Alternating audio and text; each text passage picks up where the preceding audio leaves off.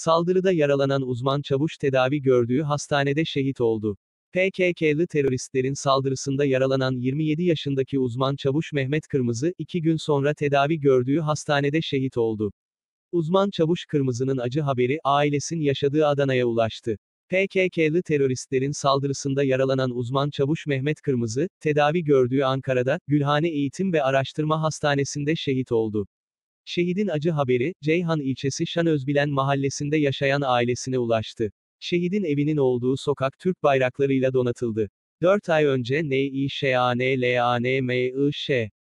Anne Aliye Kırmızı, çocukları Yasemin ve Fehmi ile birlikte şehit oğlunun cenazesini karşılamak için Adana Havalimanı'na gitti. 4 ay önce nişanlandığı belirtilen Mehmet Kırmızı'nın babası Zeynel ile ağabeyi Sedat Kırmızı'nın ise Ankara'da oldukları kaydedildi. Kaymakam Yılmaz, acı haberi paylaştı. Ceyhan Kaymakamı Bayram Yılmaz, Mehmet Kırmızı'nın şehit olduğu haberini sosyal medya hesabından paylaştı.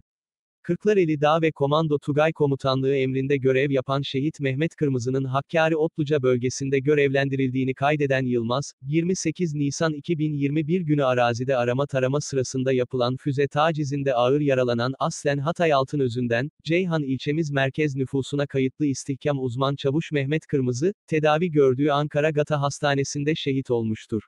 Allah'ım sonsuz rahmet eylesin, ailesine sabır versin. Milletimizin başı sağ olsun ifadelerini kullandı. Adana Valiliği, Şehit uzman çavuş Mehmet Kırmızı'nın cenazesinin, yarın öğlende Ceyhan ilçesinde Asri Mezarlığı şehitliğinde defnedileceğini açıkladı.